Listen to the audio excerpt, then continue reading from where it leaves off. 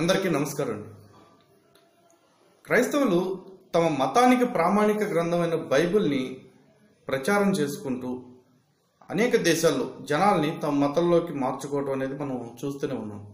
అయితే ప్రపంచం అంతా ఒకెత్తు భారతదేశం ఒకెత్తు కారణం ఇక్కడ అత్యంత విలువైన ఆధ్యాత్మిక మూలాలు కలిగిన సనాతన ధర్మం అనేది ఒకటి ఉంది.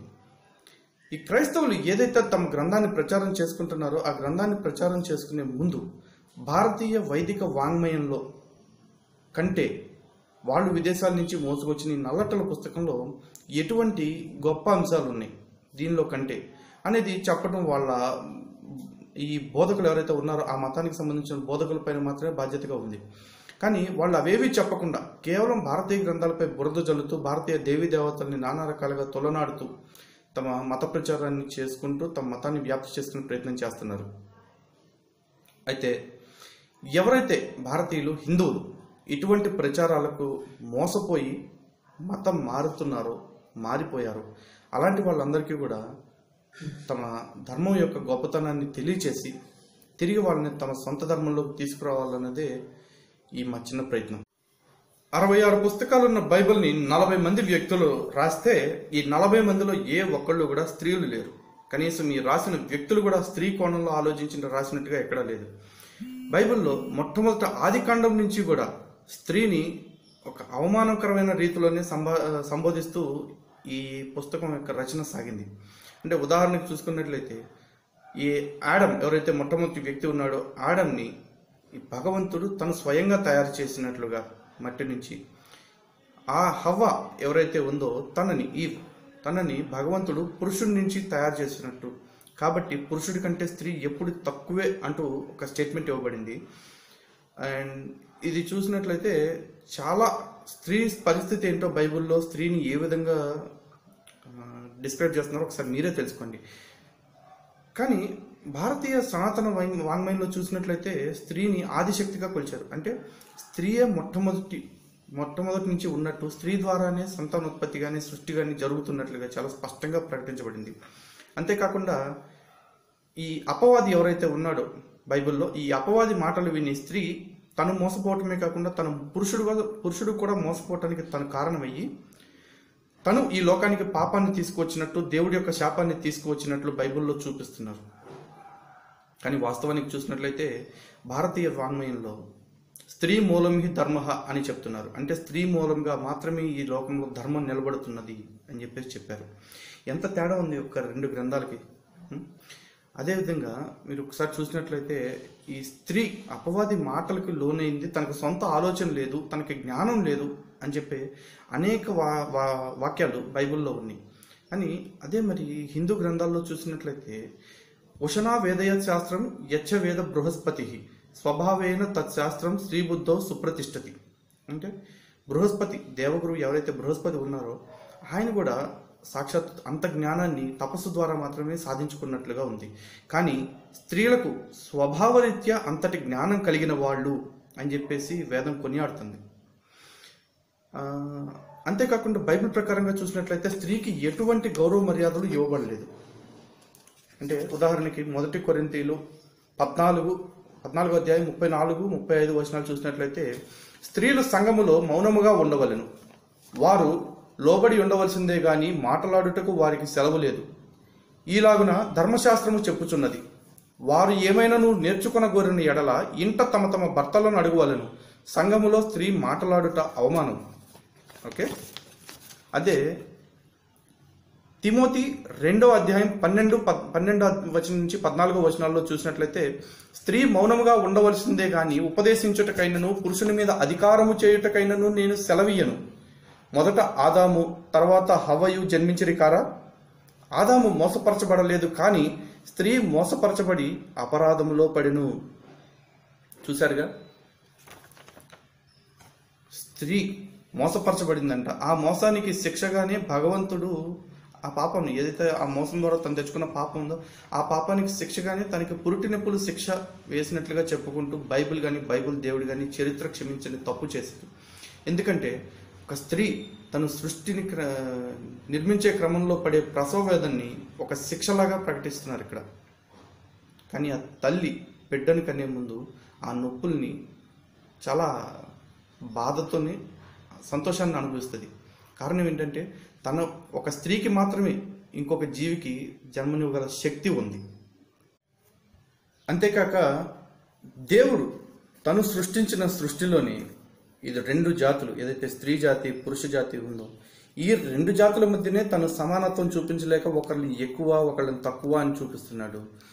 ఇది మరి దీన్ని వీళ్ళు ధర్మశాస్త్రం ధర్మగ్రంథం అంటున్నారు. అది ఏ విధంగా ధర్మశాస్త్రం ధర్మగ్రంథం అనేది అసలు దాన్ని నమ్మే వాళ్ళకే తెలియాలి.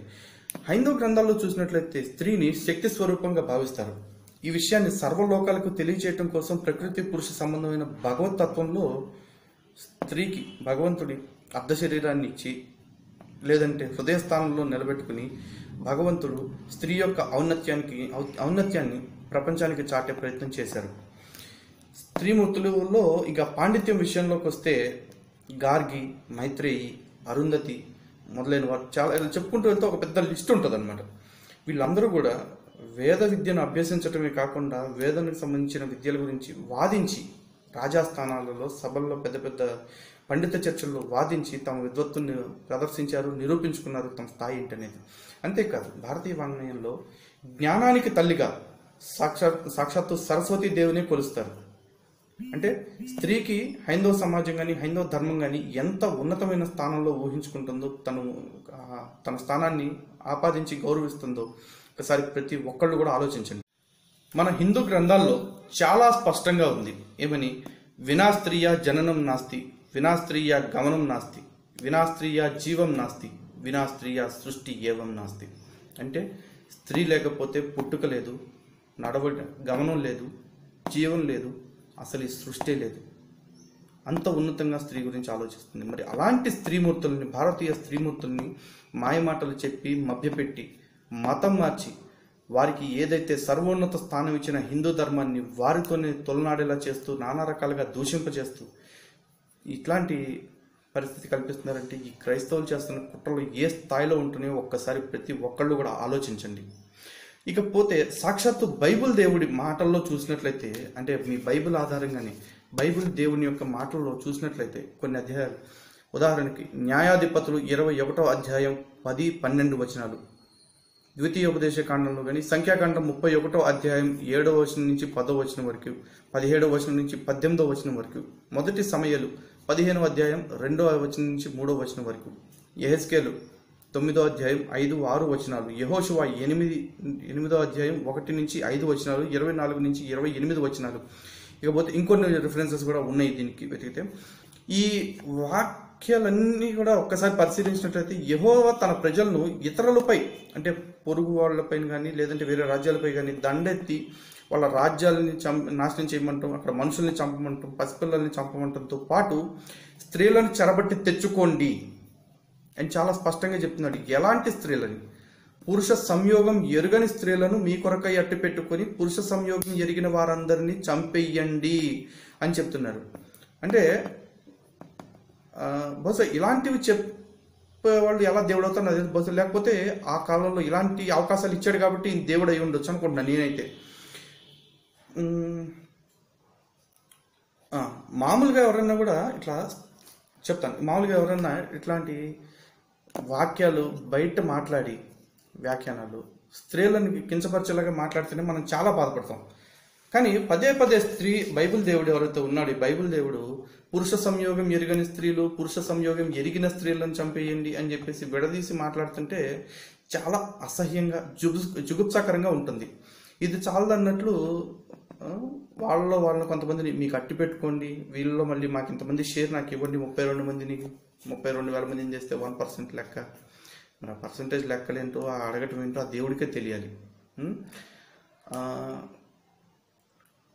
ఇది మరి ఈరోజు పాటిస్తున్నారా అని నేను అంటలేదు. కాకపోతే ఇలాంటివి చెప్తున్నవి గ్రంథం ధర్మ గ్రంథం అని మాత్రం నేను ప్రశ్నిస్తున్నాను. ఒకసారి స్త్రీమూర్తులు అందరూ కూడా మీరు ఆలోచించండి. ఆ మతం పాటిస్తున్న వాళ్ళు. అయితే క్రైస్తవ మతంలో చాలామంది స్త్రీలు ఈ గ్రంథాన్ని చాలా మటుకు చదివినా ఇంకా వాళ్ళు పాటిస్తున్నారంటే అయితే వాళ్ళు దాన్ని సరిగా అర్థం చేసుకోకపోవటం అయ్యన్నా అయి ఉండాలి చదవకపోవటం అన్నా అయి ఉండాలి లేదంటే వాళ్ళకు బోధిస్తున్న వాళ్ళు దీన్ని ఇంకో మార్గంలో వక్రీకరించి చెప్పటం అన్నా అయి ఉండాలి. అయితే క్రైస్తవ పాస్టర్లు కూడా చాలామంది ఇట్లాంటి విషయాల గురించి క్లారిఫికేషన్ ఇచ్చుకోవటం కాకుండా ఇట్లాంటి విషయాలు తప్పులు తప్పుల్లాగా ఒప్పుకోవటం కాకుండా బట్ట కాల్చి ముఖాన్ని వేసే ప్రయత్నం చేస్తున్నారు. అంటే హిందూ గ్రంథాలను వక్రీకరిస్తూ శ్రీకృష్ణుడు అట్లా చేశాడు ఇట్లా చేశాడు పదహారు వేల మందిని చేశాడు అన్న ఏంటి శ్రీకృష్ణుడు చేసిన తప్పు? అంటే నరకాసురుడిని జయించి తన చెరలో ఉన్న పదహారు వేల మంది స్త్రీలను కాపాడి వాళ్ళంతా పురుష సంయోగం ఎరిగిన స్త్రీలు అని భావించి చంపేయకుండా వాళ్ళని సమాజంలో అలాగ వదిలేసి సమాజానికి సమాజంలో విచ్చలవిడితనం పెరిగిపోకూడదన్న ఉద్దేశంతో వాళ్ళని భక్తి అనే బృందావనంలో భక్తి పారవశ్యంలో కట్టేసి ఉంచటమేనా? అంటే బహుశా మీరందరికీ అందుకే నచ్చుండకపోవచ్చు శ్రీకృష్ణుడు నేనైతే అనుకుంటున్నాను. ఎందుకంటే భారతీయ సమాజంలో ఎక్కడా కూడా ఏ దేవుడు కూడా మీరు దాడి చేసి స్త్రీలను ఎత్తుకురండి అని చెప్పలేదు. ముఖ్యంగా భారతీయ గ్రంథాలు ఒకటే చెప్తాయి. ఎత్ర నార్యంతు పూజ్యంతే రమంతే తత్ర దేవత. ఎత్రైతాస్తు న పూజ్యతే సర్వాన్ తత్ర ఫలక్రియ. అంటే ఎక్కడ స్త్రీలు పూజించబడతారో అక్కడ దేవతలు పూజలు అందుకుంటారు. ఓకే? ఎక్కడ స్త్రీలు గౌరవించబడరో అక్కడ ఎన్ని పూజలు చేసినా ఎటువంటి ఫలితము ఉండదు. అంతేకాకుండా నిర్గమకాండం ఇరవై ఒకటో అధ్యాయం ఏడో వచనంలో చూసినట్లయితే ఒకడు తన కూతురిని బానిసగా దాసిగా అమ్ముకోవచ్చు అని చెప్పేసి చెప్తున్నారు. మరో చోట ద్వితీయోపదేశకాండం ఇరవై రెండో అధ్యాయం ఇరవై ఇరవై ఒకటి వచనాల్లో చూసినట్లయితే ఆడవారికి కన్యత్వ పరీక్షలు చేయొచ్చు అని చెప్తారు. కన్యత్వ పరీక్షలు చేయడానికి ఏవి ఎలా చేస్తారు? ఏంటి మీ ఉద్దేశాలు? అంటే స్త్రీని ఎందుకు ఇన్ని రకాలుగా అవమానించమని అంత ఇదిగా చెప్పింది బైబుల్? అంతేకాకుండా సంఖ్యాకాండంలోని ఐదవ అధ్యాయం పన్నెండు వచనంలో చూసినట్లయితే భార్య పట్ల అనుమానం కలిగితే ఆమెకు బురద నీళ్ళు తాగించే పరీక్షలు పెట్టొచ్చంట. ఓకే. మరి మగవాడికి ఏం పెట్టాలి? ఇప్పుడు ఇవి ఇక చూద్దాం. దాని గురించి చాలా ఉన్నాయి. పై వాక్యాలన్నీ చూస్తుంటే కూడా పురుషుల కంటే స్త్రీలు ఎటువంటి ఏ విధంగానూ ఎక్కువ కాదు. పురుషులు ఏం చెప్తే అది స్త్రీలు చెయ్యాలి అన్న ధోరణిలోనే చెప్పారు. అంతేకాకుండా లెవ్యాకాండం పన్నెండో అధ్యాయం ఒకటి నుంచి ఐదు వచనాలు చూసినట్లయితే ఒక స్త్రీ మగబిడ్డకు మగబిడ్డను కంటే ఏడు రోజులు పురుటిమేలు పాటిస్తే అదే ఆడబిడ్డను కంటే రెండు వారాలు పురుటిమేలు పాటించాలని చెప్తున్నారు. అంటే ఇక్కడ కూడా సమానత్వం లేదు. బిడ్డ మగబిడ్డ వేరు ఆడబిడ్డ వేరు. మగబిడ్డ కంటే ఆడబిడ్డ ఎక్కువ పాపం మోసుకొస్తుంది కాబట్టి ఆడబిడ్డ పుడితే రెండు వారాలు పురుటిమేలు పాటించాలి. మరి హిందూ గ్రంథాలు ఏం చెప్తున్నాయి దీని గురించి? యథైవ ఆత్మా పుత్ర పుత్రేణ దుహిత సమహ అంటే పుత్రుడు పుత్రిక ఎవరైనా ఇద్దరు కూడా తల్లిదండ్రులకి ఆత్మతో ప్రాణంతో సమానం. ఇద్దరు సమానమే అని చెప్తుంది. మరి ఏ విధంగా హిందూ గ్రంథాల్లో ఇటువంటి అన్ని పెట్టుకుని ఇవి చెప్పకుండా మీ గ్రంథాల్లో ఉన్న బూతుల్ని మమ్మల్ని నమ్మమని చెప్తూ మా హిందూ స్త్రీలను లేదంటే మా హిందూ సమాజం యొక్క మా సోదరి మనులను మీరు ఎందుకు ఇంత పక్కదోవ పట్టి పక్కదోవ పట్టించి తప్పుదోవ పట్టించి మీ మతంలోకి లాక్కునే ప్రయత్నం చేస్తున్నారు? ఏ వాళ్ళు ఇక్కడ సంతోషంగా ఉండటం మీకు నచ్చట్లేదా? వాళ్ళని తీసుకెళ్ళి అక్కడ కన్నీటి ప్రార్థనలు అని చెప్పేసి ఎప్పుడు ఏడిపిస్తా కూర్చోబెట్టాలని ఏమన్నా కంకణం కట్టుకున్నారా? లేకపోతే దానికి ఏమన్నా విదేశీయుల నుంచి నిధులు తీసుకుంటున్నారా? అన్నిటికీ మీరు సమాధానం అయితే ఖచ్చితంగా చెప్పుకోవాల్సిన పరిస్థితి వస్తుంది తొందరలోనే. యోహాన్ సువార్త రెండో అధ్యాయం నాలుగో వచనంలో మీరు చూసినట్లయితే యేసుక్రీస్తు ఒక వివాహ వేడుకలో తన తల్లి ఎదురుపడ్డప్పుడు ఇంగ్లీష్ బైబిల్లో చూడండి. తెలుగు బైబిల్లో మనకి చాలా స్పష్టంగా తర్జుమా చేశారు. దాన్ని వాళ్ళకి కావాల్సిన విధంగా రాసుకున్నారు. ఒకసారి ఇంగ్లీష్ బైబిల్లో చూడండి. డియర్ ఉమెన్ డియర్ ఉమెన్ అని పిలిచాడు మేరీని. అంటే ఓ అమ్మాయి అని పిలిచాడు. ఇది దాన్ని ఎందుకు అలా పిలవాల్సి వచ్చింది అనేది కారణాలు ఎవరి కారణాలు వాళ్ళు చెప్తారు. ఎందుకంటే మతంలో ఇప్పుడు వాళ్ళకి ఎందుకంటే బతుకుతారు కాబట్టి వాళ్ళ మతంలో ఉన్న ప్రతిదాన్ని వాళ్ళు సమర్థించుకుంటా చెప్తారు. కాకపోతే సాధారణ క్రైస్తవులు ఎవరైతే క్రై- క్రైస్తవ మతాన్ని పాటిస్తున్నారో వాళ్ళు ఒకసారి మనస్ఫూర్తిగా ఆలోచించండి. మమ్మల్ని తిట్టుకుంటాం తిట్టుకోపోవటం తర్వాత మీ ఇష్టం. ఎందుకంటే హిందూ ధర్మంలో ఒకటే చెప్తారు మాతృ పరధారేషు ఎప్పశ్యంతి పండిత. అంటే పరస్త్రీని కూడా తల్లితో సమానంగా భావించాలి అని చెప్పేసి. ఒకసారి ఇక్కడ సోదరమల్లారా అందరూ మీరు కూడా ఆలోచించండి.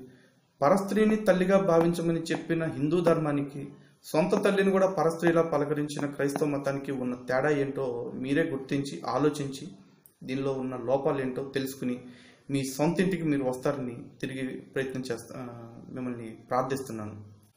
ఇకపోతే సోదరులరా ఎన్నో వ్యయ ప్రయాసాలకు ఓర్చి ఎంతోమంది ద్వేషాన్ని మరెంతో మంది దోషణలని భరిస్తూ సహిస్తూ ధర్మరక్షణ కోసం మేము చేస్తున్న ఈ యజ్ఞంలో మాకు ఎటువంటి వ్యక్తిగత ప్రయోజనం కానీ ఎటువంటి స్వార్థ చింతన కానీ లేదు.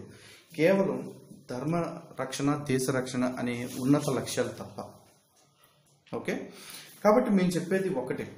ఈ హైందవ క్రైస్తవ సోదరులంతా కూడా ఈ మతం ఏదైతే ఉందో ఈ మతం మత వ్యాప్తి చేసుకుంటున్న మతం ఈ మతం యొక్క లక్షణాలను వాటి వెనక ఉన్న రహస్యాలను తెలుసుకోండి. అదేవిధంగా వాళ్ళు ఈ మత వ్యాప్తి చేయడానికి గల లక్ష్యాలు ఏంటి?